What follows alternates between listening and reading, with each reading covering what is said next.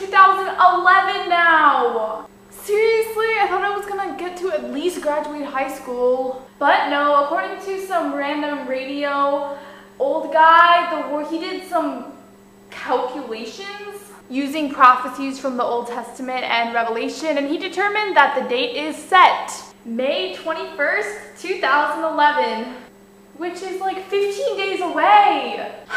I don't think I'm ready to die. So the Mayans might be wrong. I personally think everyone's wrong and the world's gonna end when the sun explodes.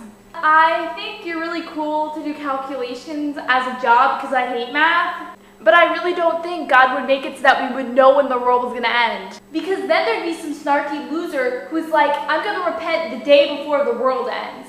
And of course, like everyone, you could die like from some other like random thing. But still, people would be like, oh, I'm gonna wait till the last day to start being moral. And God doesn't want it to be like that. He wants it to be like a free will thing, like we choose Him. It's all about love, not fear. So yeah, I mean, I, I'm sure this, this guy has really good intentions with his whole idea, but no, I don't, I don't believe it. So there, I said it. I believe that the class of 2011 is going to be able to graduate, that the class of 2012 is going to be able to graduate, and the classes of all the 21st century. Yup. That's my ideas about the end of the world. It's gonna be a long, long, long, long ways away.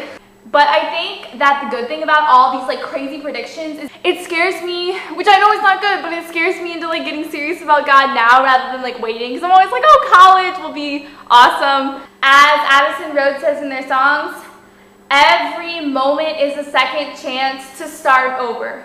Every moment, not even every second, every moment.